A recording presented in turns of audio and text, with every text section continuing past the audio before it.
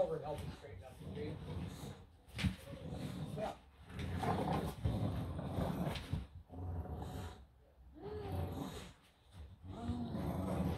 นี่เกิดได้